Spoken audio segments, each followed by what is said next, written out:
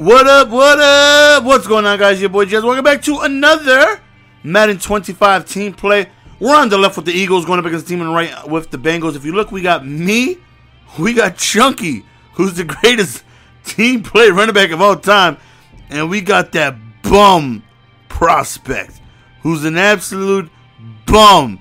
If you remember anything from this video, remember that prospect is a bum. Remember that. All right, so um, you guys uh, saw the team play a couple. Uh, it's a fumble a couple days ago, and you guys said you really enjoyed it. That you know something different is kind of cool to see. Uh, right there, bam! Prospect got disconnected, and this happens quite often with team play. Look at Chunky bring it into the end zone. First time he touches the ball. Chunky is the real MVP, baby.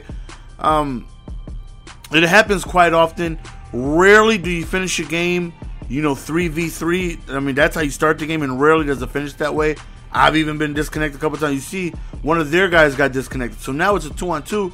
And it makes it a little difficult because Chunky went ahead and chose for his position to be running back instead of any. And because he's running back, he cannot control any wide receiver. He can only control the running back. So if I come out in like a four wide pass or whatever, he can't switch to DeSean Jackson. No, you see, he can only control the running back. So that can make it a little difficult when he's trying to pass the ball. And uh, I don't even think I'm able to call hot routes at that either. So, um, but you know, we're trying to give him the ball as much as possible. Again, only rule is that we don't kick field goals until the fourth quarter. Right here, we try to go towards the back of the end zone, and it gets tough when you're in this side of the of the area. You know what I mean? When you're on, um, you know, getting close to the end zone and you're like in the red zone, it, it, gets tough. That's where the no field goal rule in effect can definitely cause a little bit of issues because uh, right there he just hits us with that stutter step, just destroyed us. Uh, it can get tough moving the ball a little bit right there, but uh, you know, nonetheless, man, great run right here, and they end up tying up the game right here seven to seven. So hopefully we can go on ahead and, and move the ball downfield now. Again, when when I play team play, what I like to do is give the ball to the user as much as possible. You know, even if that bum prospect is, you know, triple team, I'm still trying to give him the ball instead of throwing it to the computer. I don't want to throw it to the computer. You know what I mean? I want to, I want to get the users involved. I want to be able to throw it to my wide receivers. I want to be able to throw it to my running backs.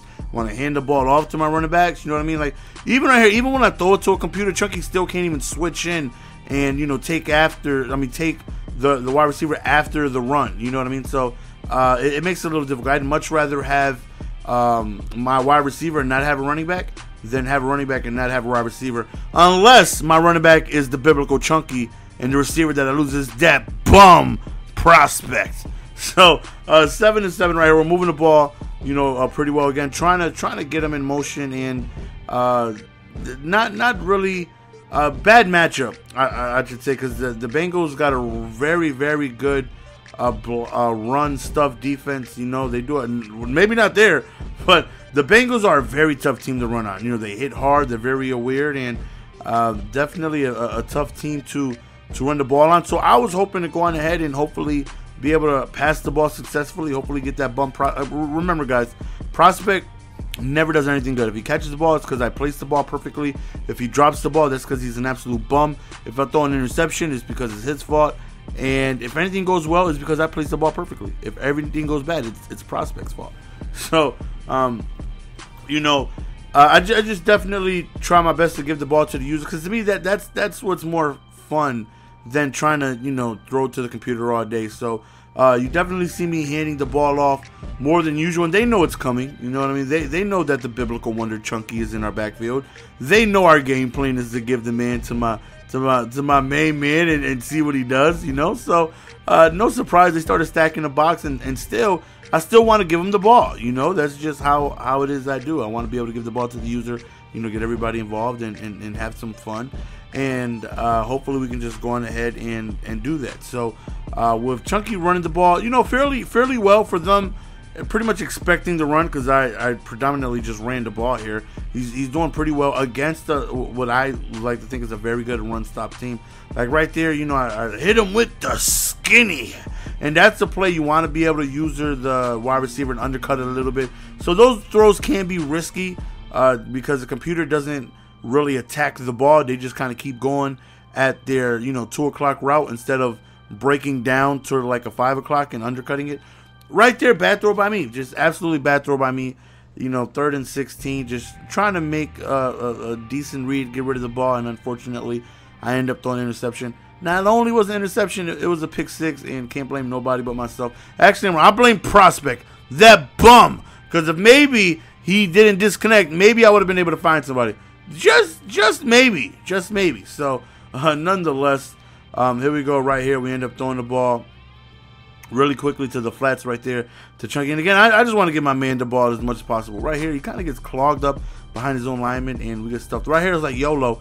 YOLO! We gonna deep up top and bang!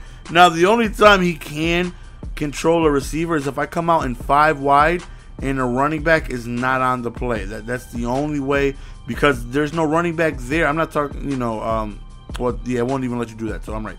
Um, there has to be a five wide play, and there's no eligible running back on the field. Then he can go ahead and switch his players. That was the only way, and I kind of figured that out. When I figured that, I knew that, but I kind of reminded myself that way too late. Since the fourth quarter, uh, field goals are in effect right here. We go to the top, we go to Chucky. He is outside. He ends up scoring a touchdown. What else do you expect? What else but a touchdown from the biblical beast himself, Chunky? Chunky's an astronomically biblical beast, man. That guy, I'm telling you, man, team play is so much fun, man. If you guys have not already, uh, check out the live streams, man. We've actually been doing this uh, every stream. It's a blast. It's really fun. The only thing that sucks is that you get disconnected.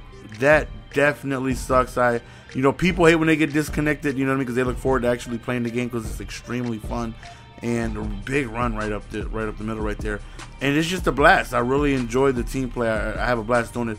Uh, right here, we go sides on a PAT, and of course they're going to go on ahead and accept, and it brings them on the one yard line. And then uh, right here, they decide to go for two instead of taking a PAT, and they don't get it. So they kick the onside. We recover. Now, them only having one timeout, technically, we can just go ahead and take some news. There's nothing they can do to stop it, but that's no fun, right? Nobody wants to end the game like that. Not on team play. Not when you're just out here just to have fun, you know. Um, so we end up running the ball, giving the ball to Chunky. They call their timeouts, and uh, again, with no timeouts, they cannot stop the clock at all. So give the ball to Chunky, and of course, Chunky doesn't go down easily, baby. He falls forward for like eight yards.